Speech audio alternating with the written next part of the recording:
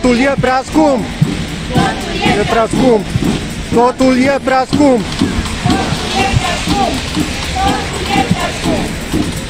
Cei care veniți la acțiunile noastre știți că și ce are acum este o mișcare pentru dreptate locativă.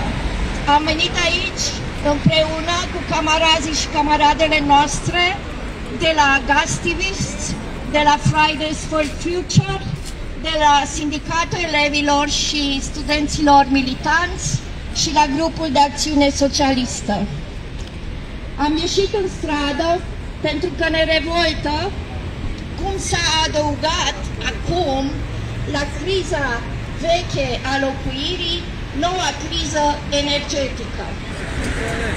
Clujul nu este scump de azi sau de ieri. De ani buni ne costă o avere să locuim în acest oraș devenit paradis imobiliar. Acum vedem cum sectorul privat beneficiază de pe urma faptului că statul a liberalizat prețurile la energie.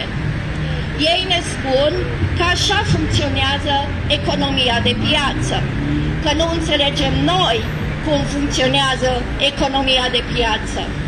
Noi le spunem că ei nu înțeleg de ce asta nu este bine și de ce ne revoltă că banii furați din buzunarele noastre se regăsesc în profiturile companiilor. De la producători la furnizori, trecând prin mai multe firme, unele de transport de energie, altele financiare, care tranzacționează, de exemplu, gazul la bursa de valori. Scumpirea costurilor traiului este un fenomen care se întâmplă în întreaga lume. Totuși, dacă ne uităm pe harta Europei, vedem că România este printre țările unde prețul la gazul natural și curent electric a crescut cel mai mult. Pe de altă parte, România este, din păcate, și continuă să fie țara sărăciei și țara forței de muncă ieftine. Acum, cei care au venituri mici și cei care și până acum au trăit în sărăcie suferă și mai mult. Dar azi această criză multiplă afectează și persoanele cu venituri medii. Unii ne spun că nu înțelegem noi că asta este capitalismul, că din când în când mai sunt crize economice, apoi urmează iar creșterea economică. Noi spunem că noi, ei nu înțeleg că asta nu e bine, că acest regim nu poate asigura ce a promis și a ajuns la limitele sale, drepturi, bunăstare și democrație.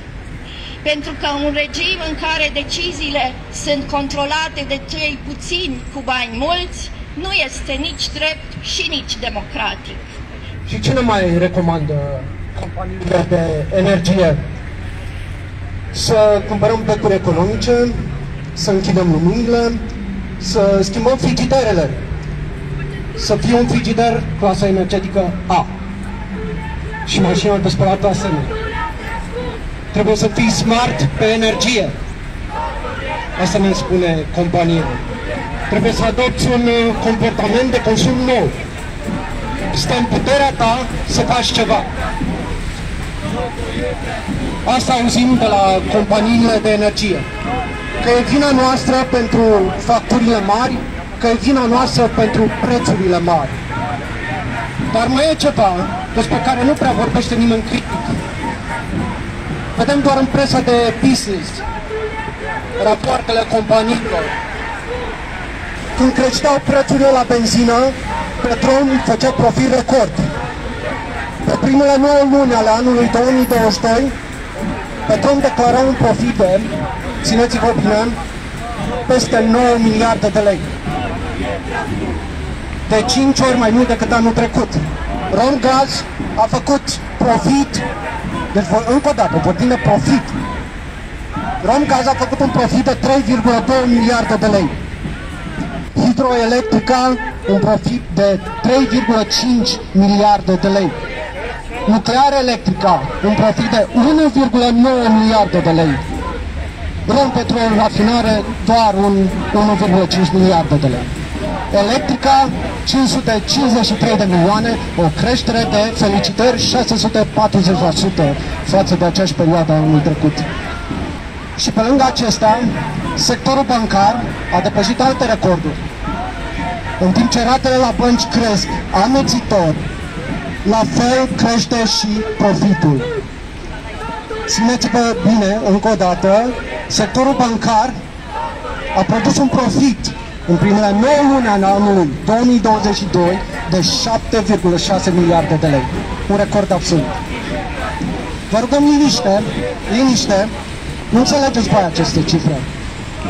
Nu înțelegeți ce probleme grave întâmpină aceste companii serioase. E tot foarte, foarte complicat. E mult stres și multă, multă tensiune. Ne străduim să vă oferim libertatea alegerii. Ziceți mersi. Dar cine plătește toate aceste profituri? Noi, bineînțeles. Odată le plătim direct lor, a doua oară prin subvențiile de stat, a treia oară prin creșterile la produsele de bază, mai ales la alimente. E cel mai mare jaf din istorie.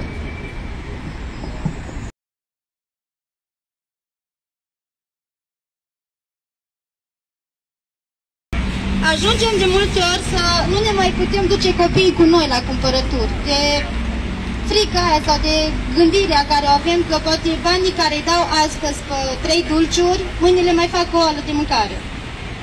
Atâta de scumpe au ajuns toate lucrurile. La electrica toată lumea spune că noi nu plătim curent. Ei, uite că am o factură de 4900, dacă e nevoie pot să-și arăt.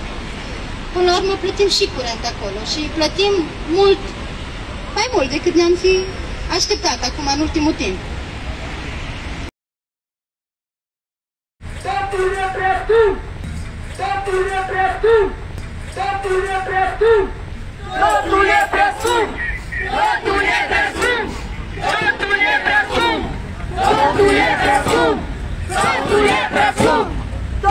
e prea scump! Statul e prea scump! Statul e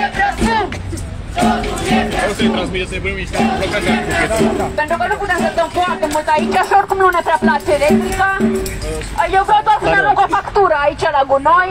O să vă rog să Este o continuați cu... factură a unui cetățean în sărăcie. Domnul Zamfir, haideți să-i băim niște, că blocaje cu